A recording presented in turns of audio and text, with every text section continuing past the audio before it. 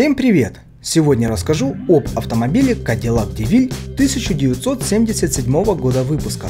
Данная модель выпускалась с 1977 по 1984 год. Автомобили 1977 года выпуска лишились главной фишки модели DeVille – кузова без центральных стоек. Теперь в данной модели появились дверные стекла с рамками – Несмотря на то, что автомобиль стал короче и легче, разработчикам удалось сохранить фишки и стиль автомобиля Cadillac. Передок с мощным бампером, четырьмя квадратными фарами и огромными боковыми фонарями. Отделка окон и боковин хромированными молдингами. Задний бампер с вертикальными фонарями и резиновыми защитными вставками. Эти черты по-прежнему остались у автомобиля. Салон автомобиля стал просторнее, увеличилось пространство для ног и над головой задних пассажиров.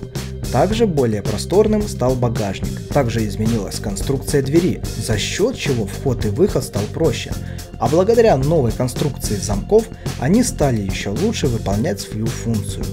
Также все места оснащались поясными и диагональными ремнями безопасности. На видео представлен Cadillac DeVille.